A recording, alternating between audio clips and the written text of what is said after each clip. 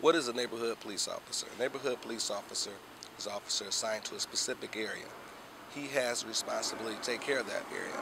Anybody can call me about any kind of problem in the community. It might be a blight issue, might be barking dog, might be a dog, um, basketball rim out in the street, or it could just be somebody would like to talk to you about whatever situation they're having with their neighbors. Citizens can find out who their NPO officer is. They can call the precincts that they uh, live in, and you can ask the officers on the desk, ask for the supervisor, how can I find out who my NPO is? And they'll let you know.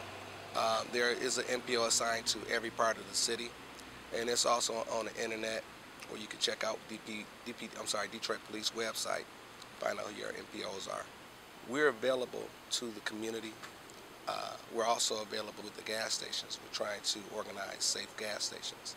And so it's my job to make sure I know all the gas station owners, see what I can do to make that safer. So we're out to assist the officers that do patrol by giving them more availability of that face of an officer to the community. I think the NPO program is great. Um, anything that can come into this city and do something positive to make the city better, safer, and more comfortable, I'm all for it. The issues that NPOs handle, they're specific, but they're not limited.